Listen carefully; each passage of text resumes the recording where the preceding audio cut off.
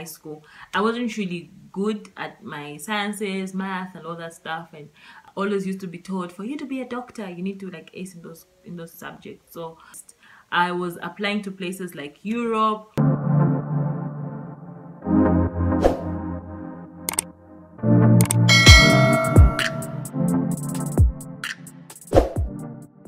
Hi guys. Welcome back to my youtube channel. It's your girl precious and i'm back again with another video and today i'm doing a video which someone requested months ago but i was not able to do it. It's long overdue so i have come to do it. So if it's your first time here please guys subscribe to my youtube channel. My name is precious and I talk about I'm a medical student in my fifth year and I talk about my medical school journey and I also talk about faith and lifestyle so I do vlog sometimes. And then if you are a returning subscriber thank you very much. Thank you very much. Welcome back.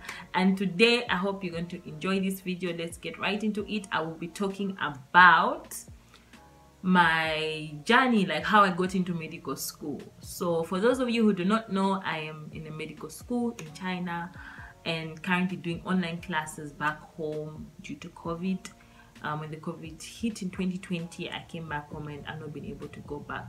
So, um, my journey into medical school, this had to like, you know, take me back because I'm in my fifth year now. So I had to like go dig and try to remember information that, you know, I've probably forgotten and do not really remember.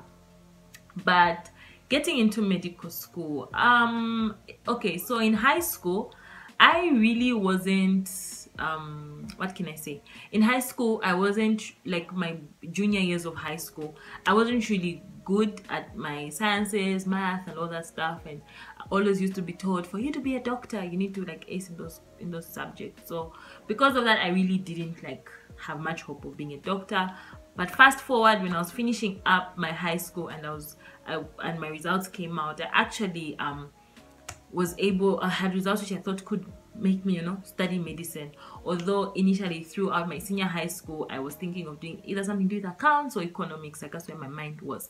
But then when my results came out i was like you know i actually can follow this childhood dream i've had of being a doctor. And i began applying. So um, when i first started applying i actually found myself studying uh, bi um, biology pre-med like and it was supposed to be a degree for four years but then i dropped out because due to some circumstances i wasn't able to continue. And that's when i started applying to um, medical schools again. And one of the medical schools like to be honest i won't lie like china was the last place on my list. I was applying to places like europe.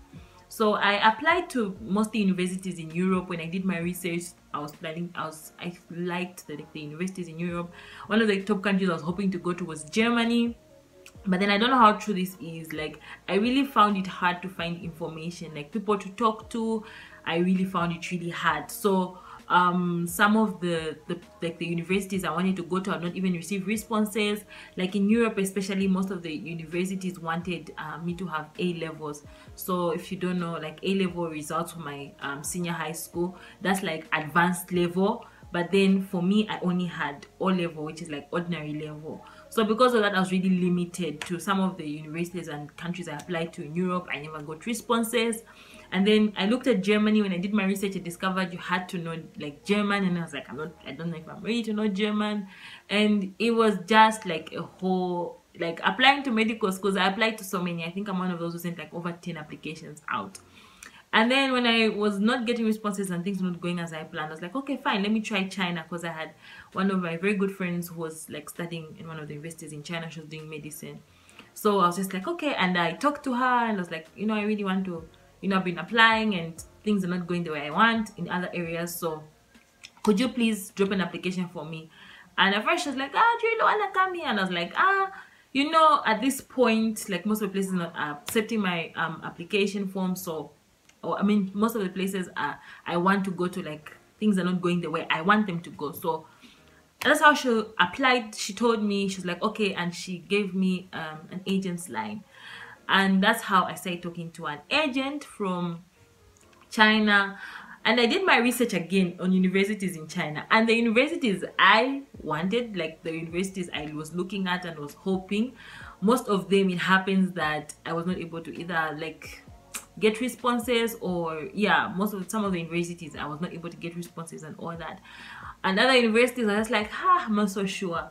So finally um the the the university where my friend was at i was able to get application papers from the agent. And you know he asked me he was like do you want to do language first one year? And i was like no. He was like do you really not want to do language one year? I was just like no because i feel like i've wasted so much time. It's been like I think it was like two years since I'd completed my high school. It was going to three years. Yeah, it was two years going to three years since I'd completed high school. And I was like, I don't want to waste any more time.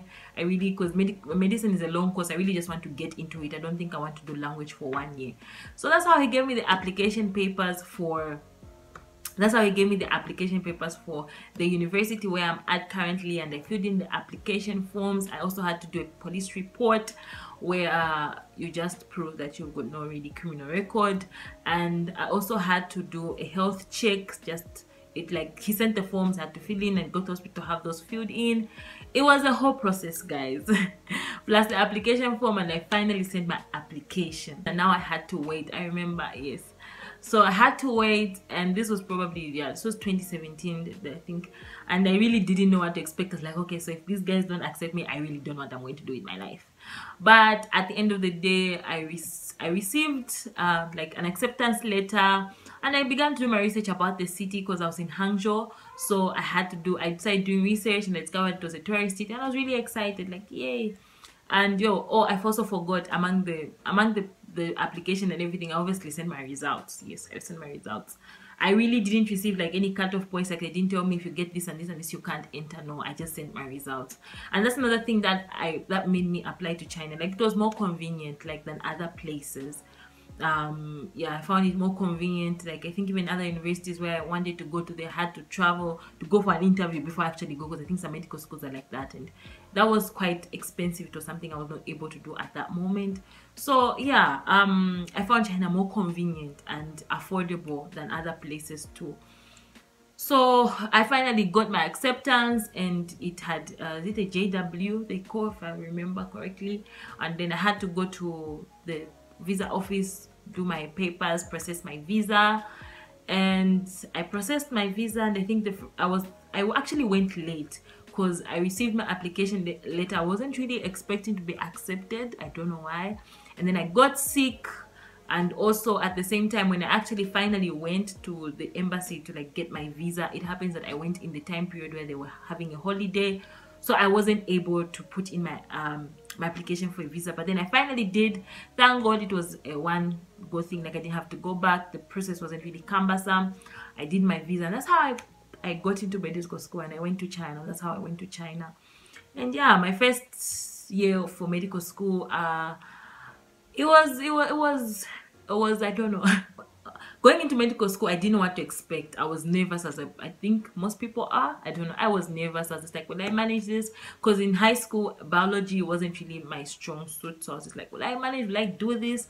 But yeah and here we are today after five years. Do i regret getting into medical school? Okay on days that are really tough yes i'm just like should I really have done this? But overall, overall, I'm really happy with the course I picked. It definitely has got so much that goes into it. But yeah, I'm happy to be where I am. And yeah, if this is your first time watching this, um, watching me, please subscribe to my channel and let's, yeah, join the journey and see where this goes thank you so much for watching this video please don't forget to like please don't forget to subscribe and i'll see you guys in the next video bye